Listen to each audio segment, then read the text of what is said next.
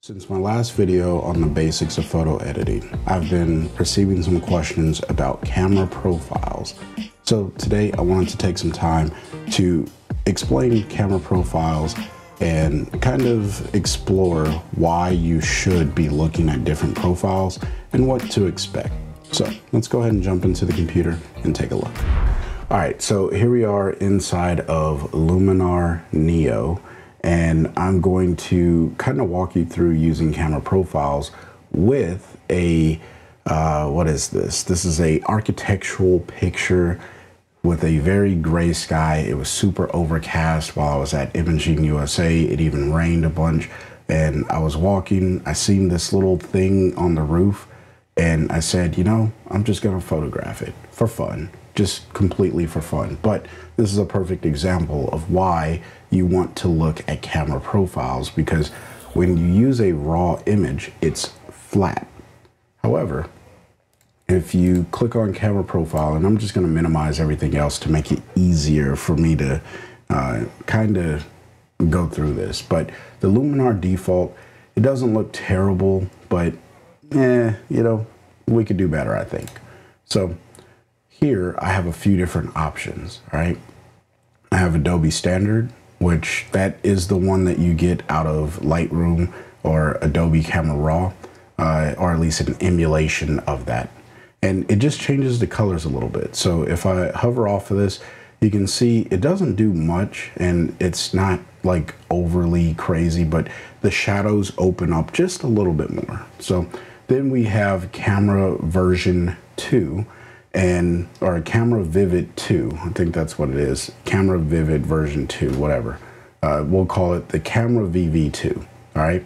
Now this one is a much brighter exposure of the the the rendering of the raw image all right? This is much brighter and then this one is a little bit darker. So when you photograph your images you have to ask yourself did this photograph bright enough or is it darker than what I expected?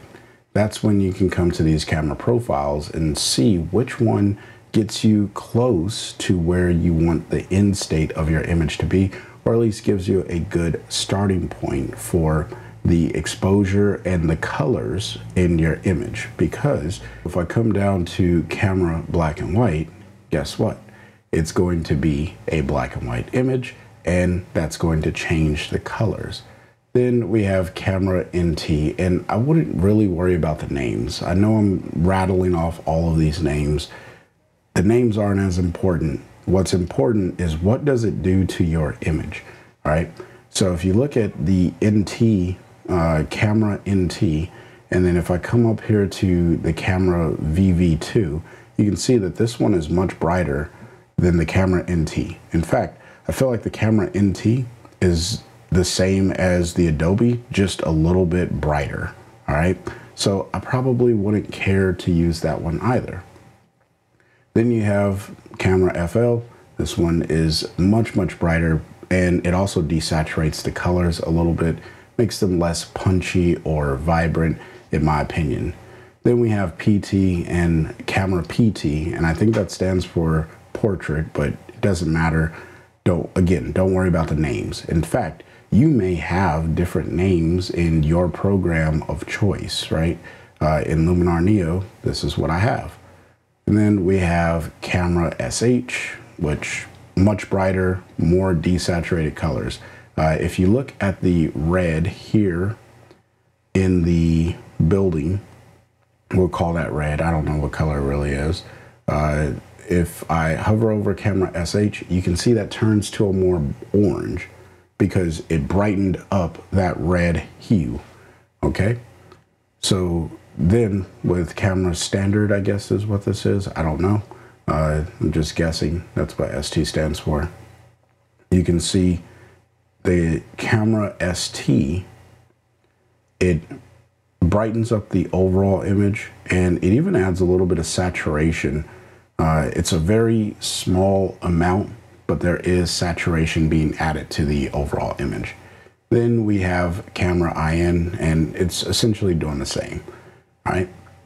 So the one that I think works the best for me is the camera VV2. That seems to work the best.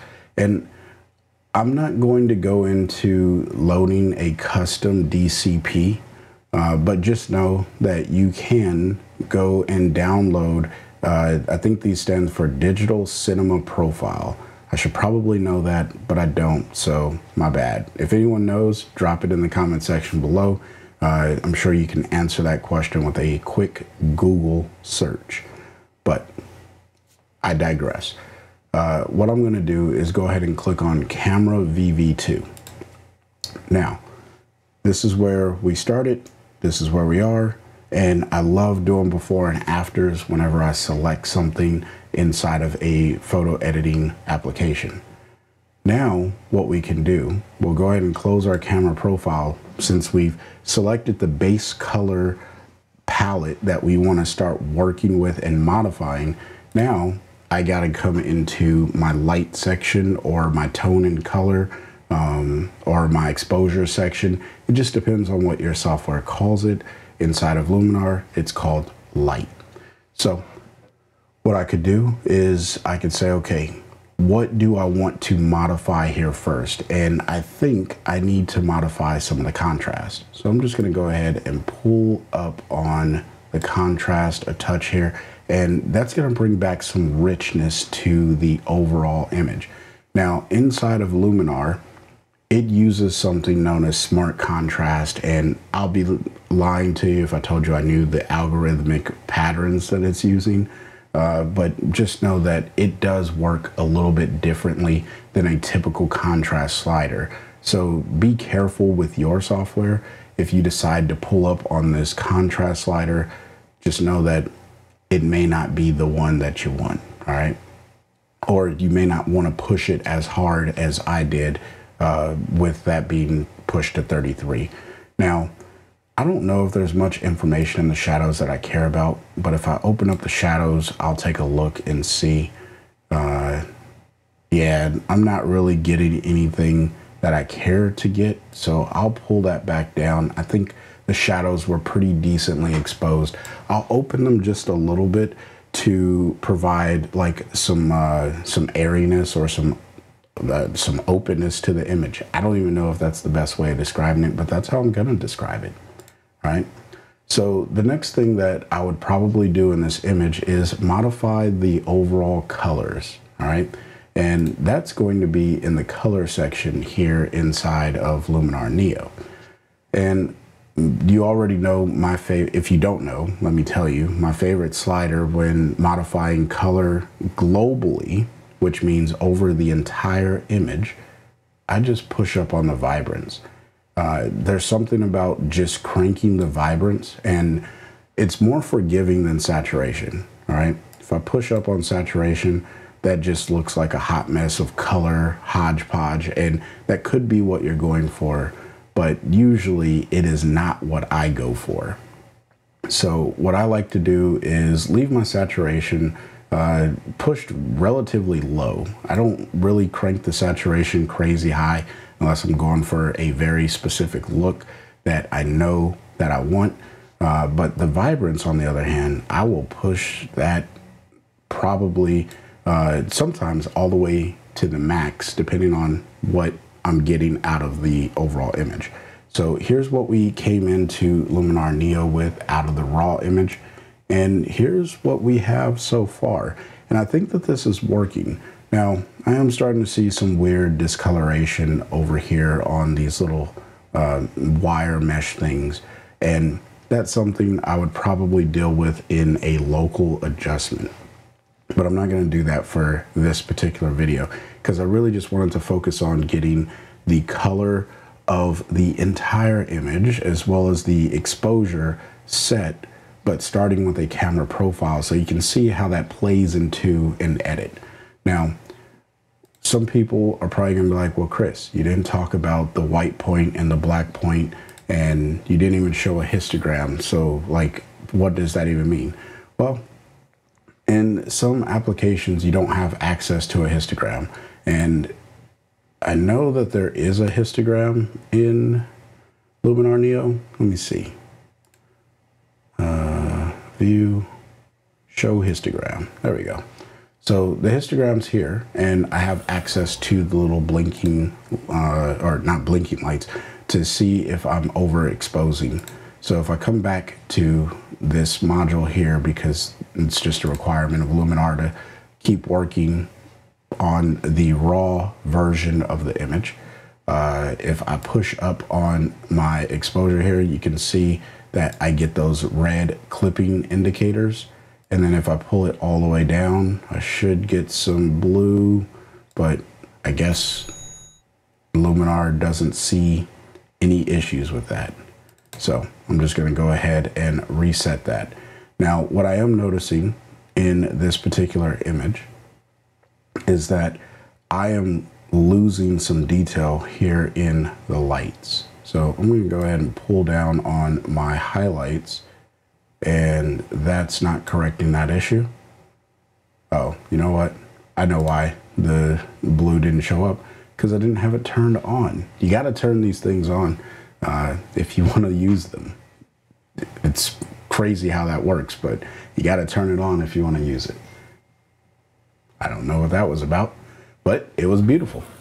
Uh, so now that it's turned on, I can see these blue indicators, but right here inside of the uh, garage area, because I think that's what this is, parking, uh, parking garage, it's not very good. So I'm gonna pull down on my whites, but I think I may have just lost that information when this photo was captured because even pulling down on the exposure, uh, not so good. But like I've shown you in the past, you could use a local adjustment to correct those. So that's how camera profile and your exposure controls work together so you can create a good balance to start with editing your image. Now, one of the things that I want to do with this particular image is click on the sky adjustment and I want to change the sky. So uh, let me just find a sky that would probably look relatively decent in this this uh, this photo. This one looks more overcast of what the day was like. So it's going to match more with the overall image. And it does look a little bright down here relative to what I was experiencing. So maybe we'll go with a different one. And I'm not gonna spend a whole lot of time with the sky replacement there. That's, that's actually way more accurate. But you can see that I'm losing some of the information in the highlights here. So what I can do now, I'll go ahead and close the sky enhance. Um, actually, let me see if Luminar has this built in because sometimes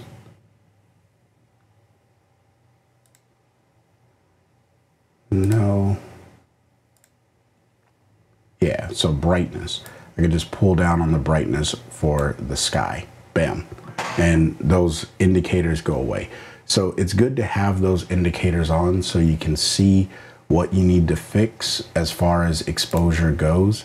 But in relationship to putting a camera profile onto your image, getting a good base canvas, and then coming into the editing phase, which I went ahead and made this edit that's how I would personally go about creating an image inside of a photo editing app. And hopefully that solves the questions about why should I change my camera profile or what does the camera profile even do to my image. If you found value in the video, smash that like button. If you're new here, consider subscribing. My name is Chris. I create photo editing content in multiple softwares, mostly on ON1 Photo Raw, right here on this channel. I'd love to have you as part of the community if that is something you are interested in. So with that being said, until next time, I want you guys to stay inspired and keep creating. Peace.